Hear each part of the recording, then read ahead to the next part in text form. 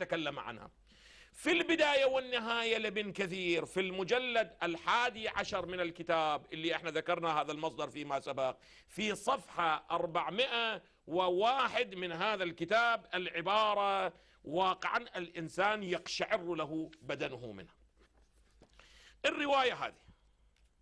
بعد أن ينقل رواية ماذا؟ لا أشبع الله بطنه قال فما شبع بعدها باعتبار أن رسول الله صلى الله نعم، عليه. وآله دعا عليه مستجاب الدعوة. نعم. يقول ابن كثير التفتوا جيدا أيها المشاهد الكريم أنا عندما جعلت ابن كثير والذهبي وابن حجر وابن تيمية من مع من من أصحاب الاتجاه الأموي والإسلام الأموي البعض قال بأي دليل؟ هذه من الأدلة. يقول وقد انتفع معاوية بهذه الدعوة في دنياه وأخراه. كيف؟ كيف؟ أما في الدنيا فإنه لما صار في الشام اميرا كان يأكل في اليوم سبع مرات.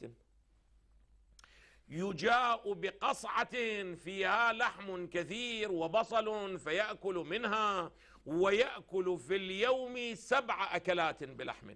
ومن الحلوى والفاكهة شيئا كثيرا ويقول والله ما أشبع وإنما أعيا. وهذه نعمة ومعدة يرغب فيها كل الملوك. نعم. أنه يأكلوا كثيرا ولا ماذا؟ ولا يشبعوا الملوك. في الآخرة كل الملوك أحسنتم. نعم، وأما في الآخرة فقد أتبع مسلما. التفتوا جيدا. اذا ابن كثير التفت إلى النكتة التي يريد أن يشير إليها. ماذا؟ مسلم. صحيح مسلم مسلم في صحيحه. يقول وأما في الآخرة فقد أتبع مسلم هذا الحديث بالحديث الذي رواه هو والبخاري وغيرهما من غير وجه عن جماعة من الصحابة أن رسول الله صلى الله عليه وآله قال اللهم إنما أنا بشر فأيما عبد سببته.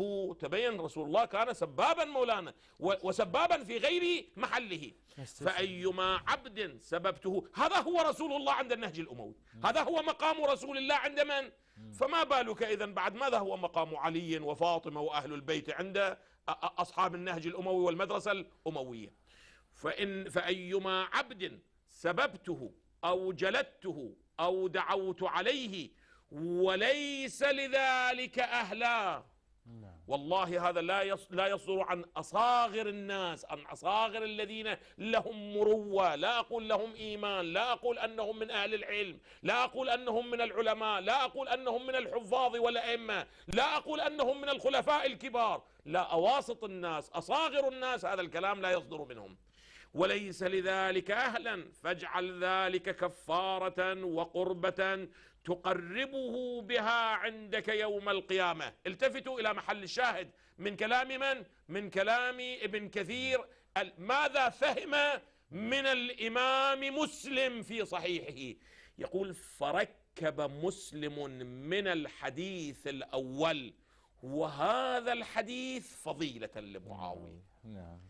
يعني لمن يد- يدقق تبين أنه ليس مسلم بصدد ماذا؟ نعم. أن يعيب على معاوية، أن يذم معاوية، أن يقول دعاء صدر من النبي على معاوية، ولهذا نحن صنفناه صحيح مسلم أين؟ صح صن- صنفناه في النهج الأموي. فركب مسلم من الحديث الأول وهذا الحديث فضيلة لمعاوية ولم يورد له غير ذلك. يعني لم يذكر في كل صحيح مسلم غير هذا النص